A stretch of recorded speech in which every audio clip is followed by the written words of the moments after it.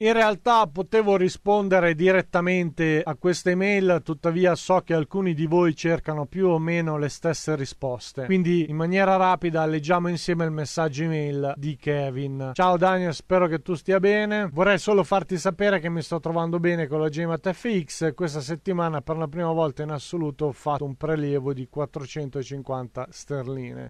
Ti faccio le mie congratulazioni Kevin, il risultato è decisamente importante tenuto conto che non credo tu abbia depositato grandi cifre. 450 sterline sono un bel traguardo perché sei già a mercato con i soldi del broker, quindi posso solo giudicare grandioso questo evento. Il vostro obiettivo non è solo fare soldi ma farli con quelli del mercato affinché voci come drawdown, performance, percentuale diventino irrilevanti perché state lavorando sostanzialmente con demo che pagano stipendi quando quando e come voi desiderate. Quindi ottimo lavoro Kevin, passiamo alle parti successive dell'email. Ho rivisto le lezioni, ho guardato il break-even point, ho difficoltà nel capire come nella pratica possa essere sfruttato. Capisco, se un'operazione va contro e si raddoppia, il punto di pareggio sta nel mezzo. Ma in realtà quella parte in cui spiego come risalire al break-even point, che se non sbaglio è nel programma Nuovi paradigmi finanziari in Gemat FX Academy, vi mostro come calcolare il break-even point ed è chiaro che lo mostro attraverso un raddoppio perché è molto più semplice per me spiegarlo in quella forma. Tuttavia questo processo di calcolo per risalire al break-even point si allaccia all'argomento map esposizione del programma Forex da zero. Io non affermo mai in quei programmi didattici che bisogna raddoppiare quando si affronta uno scenario avverso di mercato, anche perché per recuperare una perdita esistono tecniche molto più performanti rispetto al classico raddoppio dove si creano squilibri nell'esposizione. Il calcolo del break-even point serve nel momento in cui voi siete esposti su più cross, in modo tale che attraverso le formule che vi ho spiegato e vi ho dato, voi riusciate ad individuare i livelli di prezzo e il relativo rapporto di cambio in cui voi siete realmente a mercato. Un esempio lo trovate in questo video che pubblicai un paio di anni fa. In realtà in quel video io sono esposto solo su due tassi di cambio, non su tutti quelli che vedete. Il fatto è che molti quando aprono negoziazioni ingenuamente pensano di essere esposti sui rapporti di cambio che vedono nella tabella ordini. In realtà non è così. Sulla base di concetti logici spiegati in mappa esposizione e relative formule, alla fine riesci a capire qual è il rapporto di cambio che determina l'andamento del tuo balance. Da lì in poi puoi gestire il tuo break-even point. Quindi il fatto di essere in grado di spostare il tuo prezzo medio di carico ti fa capire che tu puoi rendere dinamico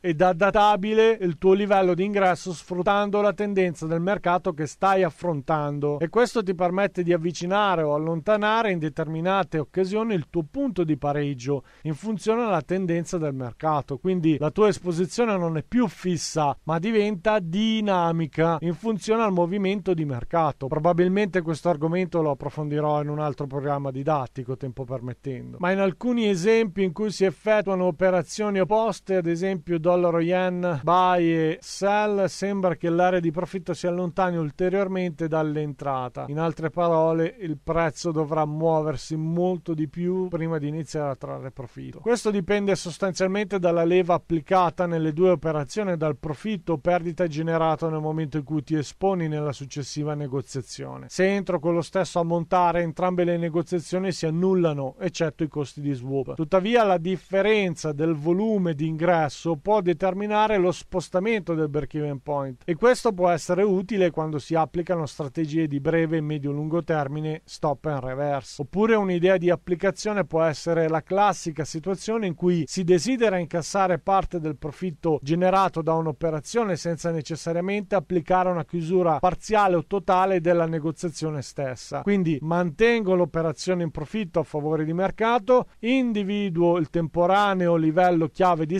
scarico e con i pesi adatto la mia esposizione affinché io mi ritrovi esposto a favore dell'area di inversione mercato. Questo mi permette di incassare parte dei profitti e qualora si verifichi un cambio scenario imprevisto essere già a mercato sui prezzi migliori. Se penso che l'euro yen abbia raggiunto il limite superiore di 142,60 e inizia a muoversi verso il basso e si trova 10 pip sotto, posso fare due operazioni per mettere il mio break even point sell sopra 142,60. Ovvio che lo puoi fare, come detto precedentemente spiegato nei miei programmi didattici, tu puoi spostare il tuo livello di ingresso su qualsiasi prezzo tu voglia, persino sui prezzi che il mercato non ha ancora toccato o non toccherà mai. Ho pubblicato tutte le formule, puoi fare quello che vuoi. Attraverso il paradigma GMAT FX puoi scegliere di seguire la tendenza di mercato attraverso lo studio e l'analisi della mappa mercato, oppure puoi anche evitare di focalizzarti sulla tendenza di mercato sfruttando